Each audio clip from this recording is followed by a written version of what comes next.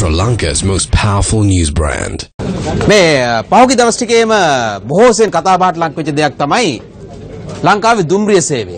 මේ මේ ආකාරයෙන් අපේ රටේ මිනිස්සු ගමන් බිමන් යන්නේ ආසාවට විනෝදයට නෙවෙයි. දකුණු අප්‍රිකාව වගේ රටවල මෙහෙම වහලවල් උඩ නැගලා යන මිනිස්සුන්ට කියනවා ට්‍රේන් සර්ෆර්ස්ලා කියලා. මේ එහෙම කට්ටිය නෙවෙයි. මේ ලංකාවේ දුම්රිය සේවා පාර්තමේන්තුවේ යම් යම් නිලධාරීන් පිරිසක් පහුගිය කාලේ ඇති කරපු වැඩ වර්ජනයක් නිසා පීඩාවට පත්වෙච්ච ජනතාව ගමන් බිමන් යන ආකාරය. මේ දේ දකින විට සමහර විට ඒ වැඩවර්ජනය කරපු අයට නම් සතුටක් ඇති. නමුත් පොදුවේ ජනතාවට තියෙන දුකක් හෝ හිරිකිතයක් හෝ පිළිකුලක් වගේ හැඟීමකුත් වෙන්නට පුළුවන්. වෘත්ති අයිතිවාසිකම් දිනා ගැනීමට සඳහා ඉල්ලීම් කිරීම සාධාරණයි. නමුත් බේසික් සැලරි එක නැත්නම් මූලික වැටුප රුපියල් 48000ක් වගේ ගාණක් වුණත් අතේ ගෙදර ගෙනියන අවසාන වැටුප රුපියල් ලක්ෂ දෙකක් හෝ ඒ වගේ ගාණක් වෙනවා නම් සමහර සැලරි ස්ලිප්ස් වල හැටියට එතකොට මේ රුපියල් 320ක වගේ අඩුවක් සම්පූර්ණ කරන්නේ කියලා වෘත්තීය සමිති ක්‍රියාමාර්ගයක් ගන්නකොට ජනතාවට තියෙන්නේ කවර ආකාරයේ සැලසුමක්ද? ජනතාවට කෝච්චි අරගෙන යාමේ හැකියාවක් නැහැ. ඒ විතරක් නෙවෙයි. දැන් මේ දේ දකින විට මගේ මතකෙට නැගෙන අනෙක් පුද්ගලයා තමයි ලී ක්වාන් යූ. සිංගප්පූරුව ඉතාමත්ම නොදියුණු රටක ඉඳලා ප්‍රථම ලෝකයේ නැත්නම් තර්ඩ් වර්ල්ඩ් කන්ට්‍රි එකක ඉඳලා ෆස්ට් වර්ල්ඩ් කන්ට්‍රි එකක් කරපු පුද්ගලයා තමයි ලී ක්වාන් යූ කියන මහත්තයා.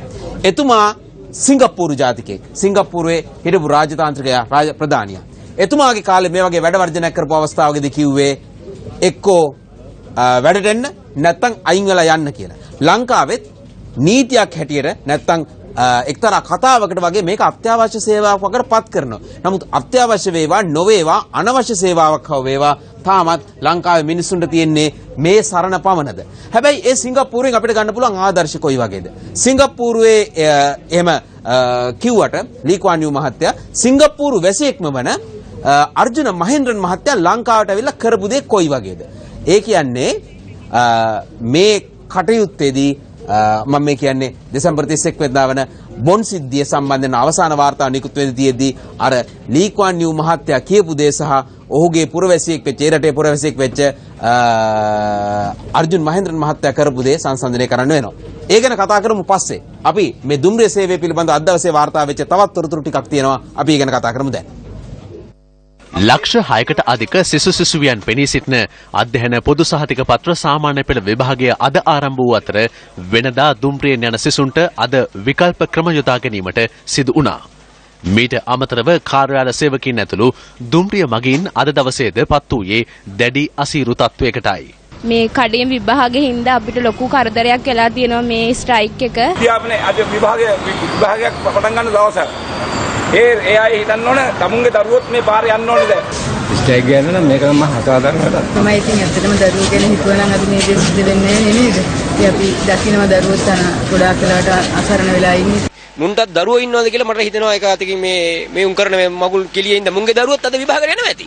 ඉතින් මුන්ගේ දරුවන්ටත් යන්න නේද ලංගම් බස් එකක. ස්ට්‍රයික් මේ පොඩි ජනතාවට මහ ජනතාවට මේ දරුවන්ට ප්‍රශ්න ඇති කරන තත්යකට ගේන්න හොඳ නැහැ. ලක්ෂ එකමාරක් පඩි ගන්න තවත් දෙකමාරක් පඩි අරගෙන තවත් මොනවද ඉල්ලන්නේ කියන්නකෝ. වර්ජනයට සහය දැක් වූ දුම්රිය විදුලි සංදේශ කළමනාකරුවන් දුම්රිය මාර්ග හා පාලම් කළමනාකරුවන් දුම්රිය මාර්ග හා කර්මාන්ත ශාලා කළමනාකරුවන් සහ දුම්රිය ගොඩනැගිලි අධීක්ෂණ කළමනාකරුවන් අද රාජකාරීට වාර්තා කළා. ධාවන බල කළමනාකරුවන්ගේ සංගමය රේල්වේ ලොකොමටිව් සහ ටෙක්නිකල් ඉංජිනේරියන් සංගමය සහ ජාතික ඉංජිනේරු ඩිප්ලෝමාධාරීන්ගේ සංගමය මේ වන විට සේවයට වාර්තා කර තිබෙනවා. දුම්රිය දෙපාර්තමේන්තුව පැවසුවේ අධීක්ෂණ නිලධාරීන්ගේ සංගමය, දුම්රිය රියදුරන්ගේ සංගමය, ලංකා දුම්රිය නියාමකවරුන්ගේ සංගමය හා දුම්රිය ස්ථානාධිපතිවරුන්ගේ සංගමය ඇතුළු සංගම් කිහිපයක් තවදුරටත් වර්ජනයේ නිරතව සිටින බවයි. සේවකීන් අද දිනේ ඇතුළත සේවයට වාර්තා නොකළහොත් සේවය අතහැර යාමේ නියෝගයට අදාළ ලිපි නිකුත් කරන බව දුම්රිය දෙපාර්තමේන්තුව මේ වන විට අනතුරු අඟවා තිබෙනවා.